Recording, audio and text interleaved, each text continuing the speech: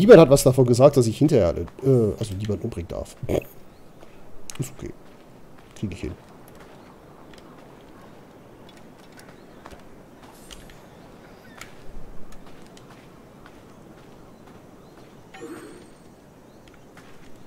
Das war noch Kurier.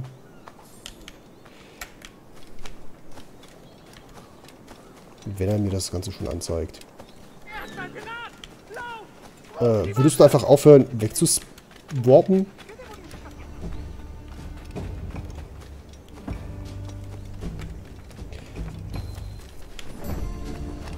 So.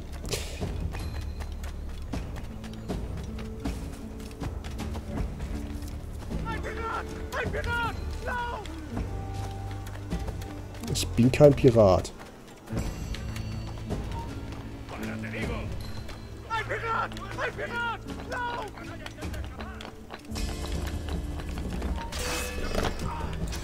Ich bin vielleicht ein Mörder, aber kein Pirat.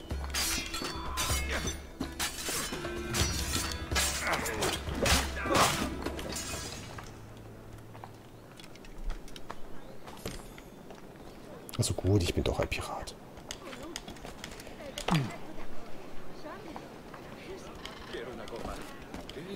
Ein Kopf fallen lassen heißt fallen lassen. Danke.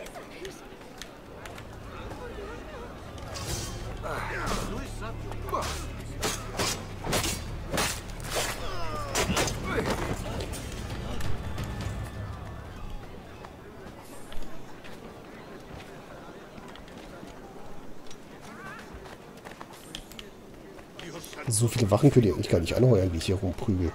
Habe ich den Eindruck. Ah, guck an.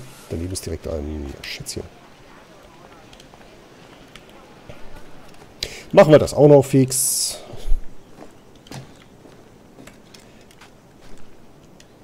Komm. Würdest du einfach... Danke.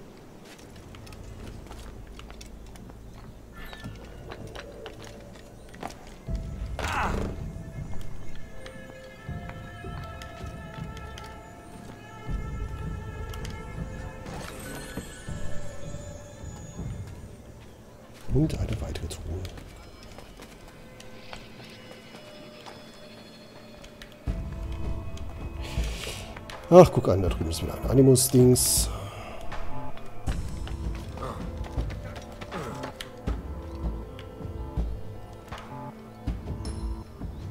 Wo? Ah, Vogel. Ach, da unten.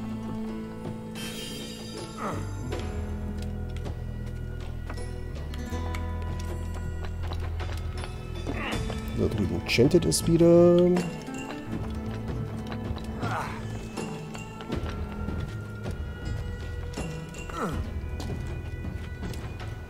Komm, zieh dich hoch. Und schon habe ich es verloren.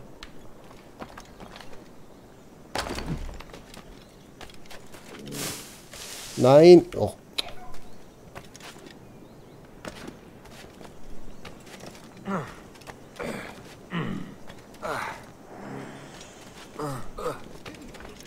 War eindeutig äh, die schnellste Schleicherei, die ich je gesehen habe. Warum er auch nicht immer schnell, äh, nicht schneller gelaufen ist. Fallen lassen, bitte. Danke. Oh, was ist das denn? Ach, das ist die Rum Rumtrinkerei. Das wäre wär hier schon wieder? Äh, alles klar. Dann auf zum eigentlichen Auftrag. Vielleicht kommen wir ja diesmal an. Vielleicht, vielleicht.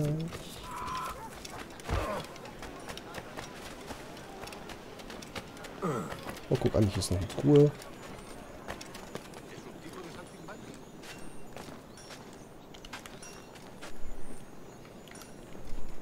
Ich lass mich nicht ablenken. Nein, nein, nein.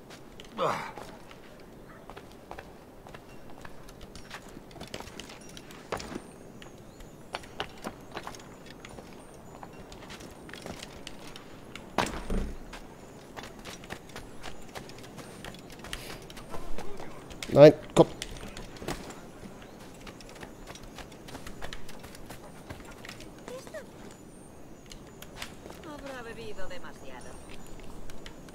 Grundsätzlich Er klettert, wenn er nicht klettern soll und klettert nicht, wenn er klettern soll.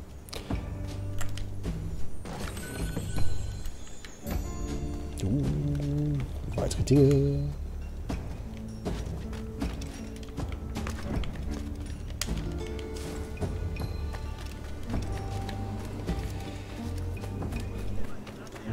Ja, jetzt liegt nichts mehr zwischen uns in dem Auftrag.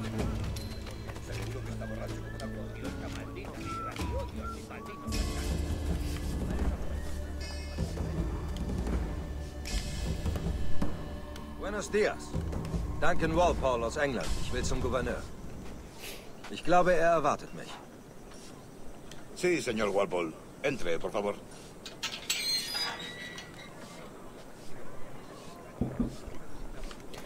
Vielen Dank.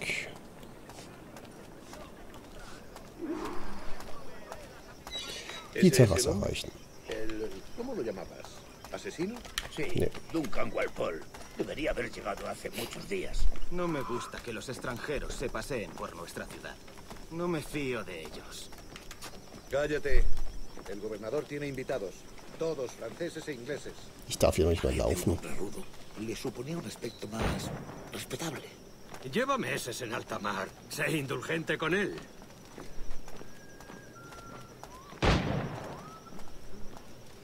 Und irgendwann schießt er ein bisschen.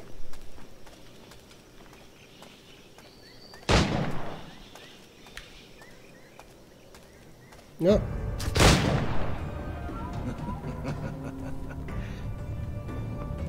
Guten Morgen, Sir. Gehe ich recht in der Annahme, dass ihr Duncan Walpole seid? Der bin ich. Das dachte ich mir. Woods Rogers. Eine Ehre. Ebenso. Ich muss sagen, meine Frau ist keine gute Beobachterin. Verzeihung. Mein Weib. Ihr traft sie vor einigen Jahren beim Maskenball der Percys. Ah. Nun, Sie nannte euch teuflisch gut aussehend. Offenbar eine Lüge, um mich eifersüchtig zu machen. Julien, unser Ehrengast ist eingetroffen, Mr. Duncan Walpole. Julien Ducasse. Ich hoffe, euer Übertritt in unseren Orden ist aufrichtig. Ich schätze die Assassinen nicht, doch Lügner noch viel weniger. ich kam nicht her, um zu enttäuschen. Wie wär's mit etwas Sport, Duncan? Der alte Mann ist noch nicht bereit für uns.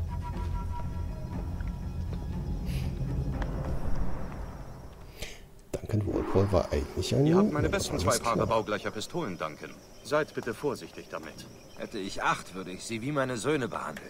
Verschießt ein paar Kugeln, wenn ihr mögt. Entwickelt ein Gefühl. Ich kämpfte einst mit einem Mann, der neun Pistolen bei sich trug. Sie waren durchschlagend im Kampf, doch hinderten sie ihn am Schwimmen. Leider. Hört, hört. Schon durch, was? Ich warte auf den Tag, an dem meine Waffe vier Kugeln fasst und nicht andersherum. Okay. Einen englischen Ach so. Freund von mir treffen, Julian. James Tuckle. Er arbeitet an etwas Außergewöhnlichem. Magnifique!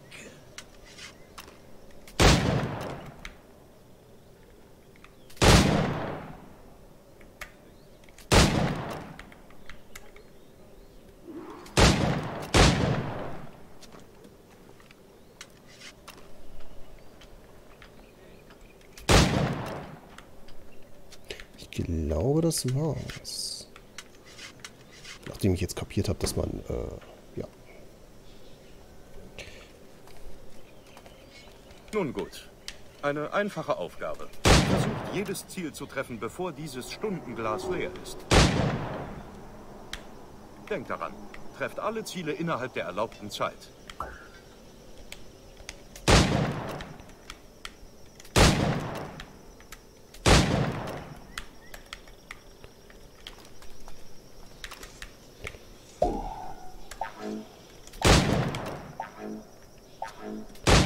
Und nachladen und...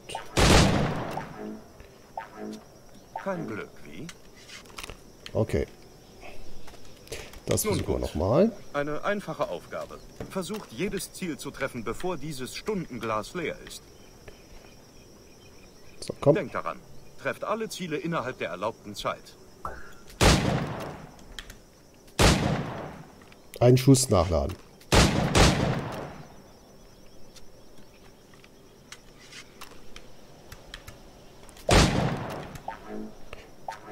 So kann das nichts werden, wenn ich den ganzen Quatsch erst ewig nachladen muss. Ah, so ein Pech. Nochmal. So. Ich hätte gerne...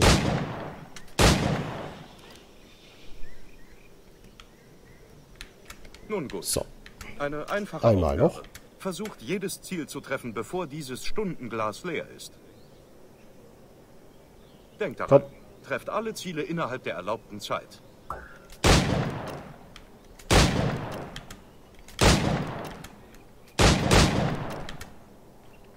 Jetzt macht das wieder Sinn.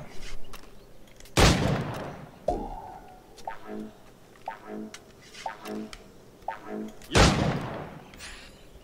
Geht doch. Und jetzt laden wir lieber nochmal nach.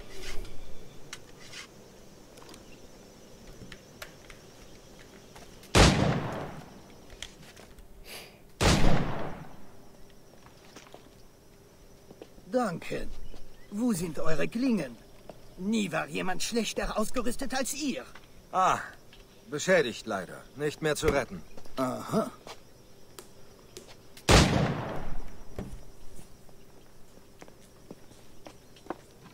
Trefft eure Wahl. Wo habt ihr die alle gefunden? Ich habe sie nicht gefunden. Ich nahm sie. Es sind Souvenir. Geht natürlich auch. Zwei Klingen. So will es der Brauch, oui. Rauch, ei. Danke. Wärt ihr so freundlich, uns eure Techniken zu demonstrieren? Nun, ich. ihr müsst. In Erwartung eurer Ankunft haben wir einen kleinen Übungsparcours vorbereitet. es wäre schade abzureisen, ohne euch in Aktion zu sehen. Ja, natürlich. Ich meine, wenn die Zeit es erlaubt, zeige ich euch alles, was ich weiß. Ihr. Seht ihr? Perfekt auf euch abgestimmte Situationen. Legt los. Die Klinge in der Menge ist das Einfachste. Nichts Grandioses. Nur schnell und sauber.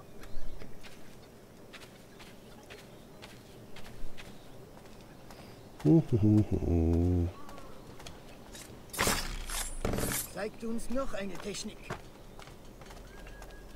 Recht einfallsreich, Heuhaufen als Deckung zu nutzen, meint ihr nicht?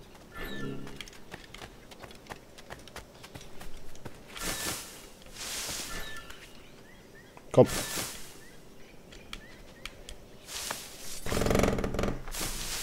Genau, das ist der Punkt. Geheimhaltung. Das Überraschungsmoment ist von allergrößter Bedeutung. Ist es nicht so? Vor allem an uneinsehbaren Ecken.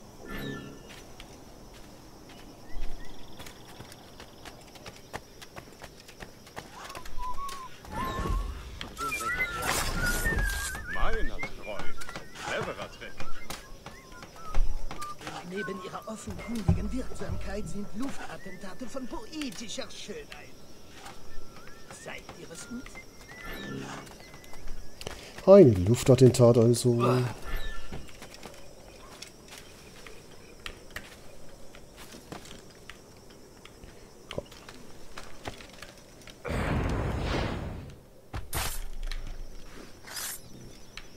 Magnifique. Besteht auch die Möglichkeit, den Todesstoß im vollen Lauf auszuführen. Mon Dieu, welch unwiderstehlicher Hieb. Ja, natürlich. Wunderbar.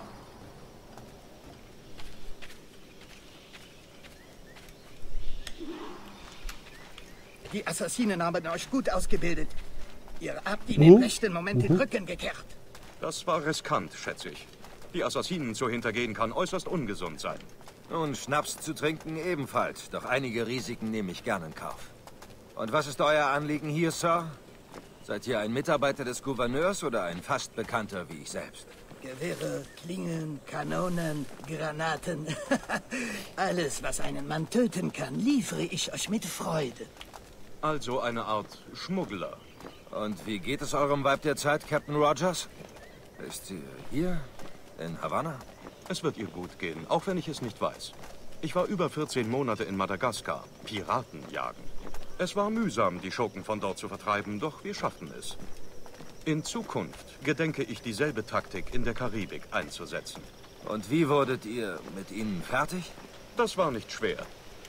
Viele Piraten sind nicht klüger als Affen. Ich ließ ihnen einfach die Wahl. Das Pardon annehmen und arm aber frei nach England zurückkehren oder auf der Stelle gehängt werden. Ah. Dann könnte Nassau euer nächstes Ziel sein. Wie scharfsinnig, Duncan. Jawohl. Na dann viel Glück. Großmeister Torres. Mr. Duncan Walpole ist eingetroffen. Sie. Ihr wurdet vor einer Woche erwartet. Verzeiht, Gouverneur. Es gab einen Überfall durch Piraten. Wir wurden versenkt. Ich traf erst gestern hier ein. Bedauernswert. Verzeiht meine Vorsicht. Doch konntet ihr das vor diesen Piraten retten, was ihr mir versprochen habt? Ja, Sir. Konnte ich. Hallöchen Knacksig und danke für dein Follow und willkommen in der Crew. Die Assassinen haben mehr Ressourcen, als ich gedacht hätte, jedoch. Nicht genug, um uns abzuschrecken. Ich freue mich sehr, euch endlich zu treffen, Duncan. Höchst willkommen. Kommt, meine Herren, wir haben viel zu besprechen. Natürlich auch hoffe ich, dass es dir gut geht und was Gutes zu essen hattest und einen angenehmen Tag.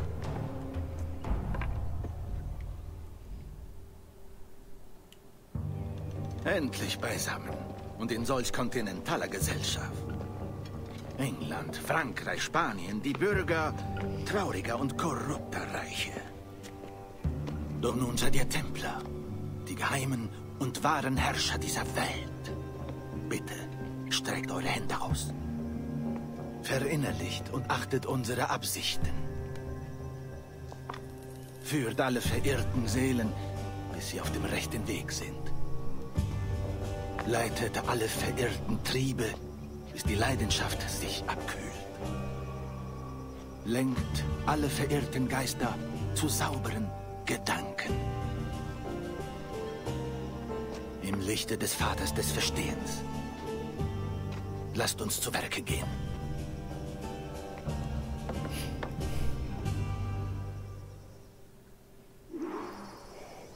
Vor Jahrzehnten übertrug mir der Rat die Aufgabe, hier in der Karibik einen vergessenen Ort zu finden, den die Vorläufer einst das Observatorium nannten. Seht her, seht euch diese Bilder an und prägt sie euch gut ein. Sie erzählen eine uralte Geschichte. Seit zwei Dekaden bemühe ich mich, das Observatorium zu finden. Einen Ort, der angeblich ein Werkzeug von unvorstellbarer Macht beherbergen soll. Es enthält eine Art Armiasphäre sozusagen. Ein Gerät, das uns die Macht verleiht, jeden Mann auf der Erde zu finden und zu beobachten, wo immer er sich befindet. Stellt euch einmal vor, wie es wäre, eine solche Macht zu haben.